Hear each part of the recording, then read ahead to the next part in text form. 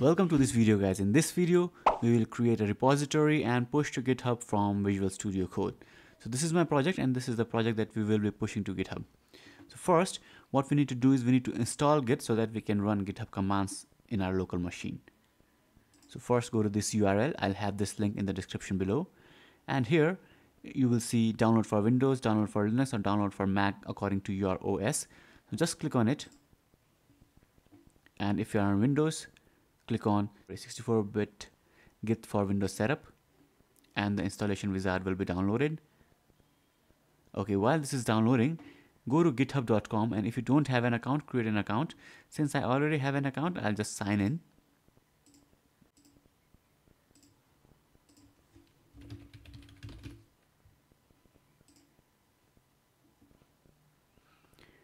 Once you are inside GitHub, create a new repository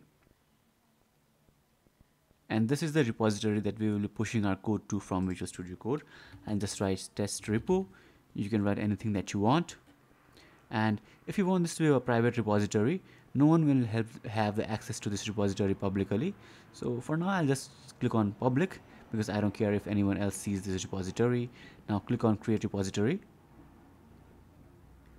Once the repository is created we only need this URL now you can note that this URL is exactly the same as this URL with .git added in the end.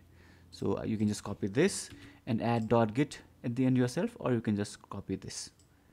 So I'll copy this URL and our git is also downloaded. Now you can just click on open file,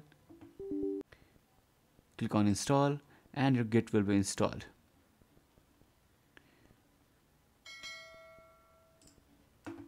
Once git is installed, you go back to your Visual Studio Code, go to terminal or press the shortcut control shift or this code icon and this code icon to open terminal.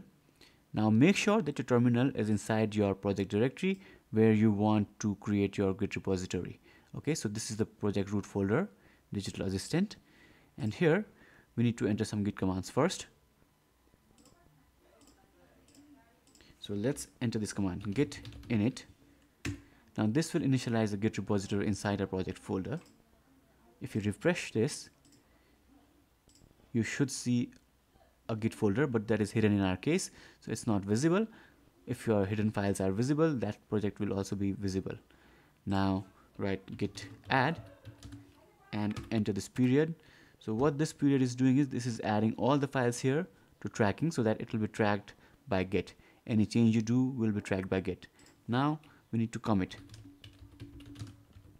So what this commit does is it makes our changes final and all the changes after which we have done a commit those changes can be pushed. So I'll just write first commit and hit enter. And now as you can see we have committed our changes and we are now ready to push. But where do we push to? So first we need to add a remote url where we will push our code. So the command is git remote add origin and then the URL that we had just copied. So it's not remove it's remote. Let me fix this and hit enter. Now it is saying remote origin already exists because apparently I already had this created. In your case you will see a message that says remote origin created. And now you can just push this. Git push origin master or any other branch that you want to push to so this is the name of the branch where you are pushing. Hit enter. And as you can see the code is pushed